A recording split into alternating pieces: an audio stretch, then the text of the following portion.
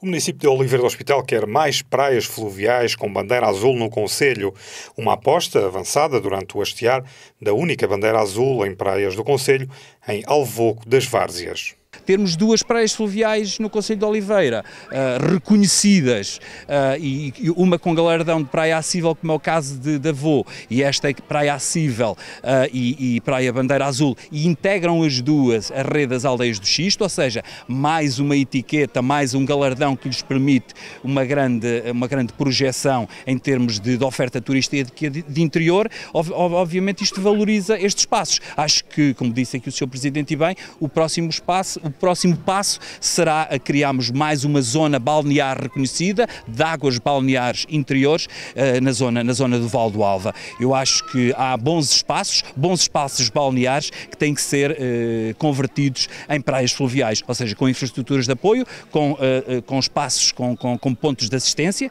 aos banhistas e depois fazer o trabalho de, de monitorização da qualidade das águas para que as entidades, como a Agência Portuguesa do Ambiente e a ABAI, a Associação Bandeira Azul da Europa, as possa haver reconhecida na sua qualidade. Na zona do Val do Alva, estou-me a lembrar de um caso em específico de uma zona balnear, que é hoje uma, uma zona de banhos, mas que pode ser uh, convertida em, em, praia fluvial. Refiro-me no caso particular, por exemplo, àquele espaço balnear em São Sebastião da Feira, que tem boa acessibilidade, uh, tem uma boa, tem uma boa área de, de, de areal, é muito, está muito bem, é muito bem uh, acondicionada, é muito bem preparada pela, pela,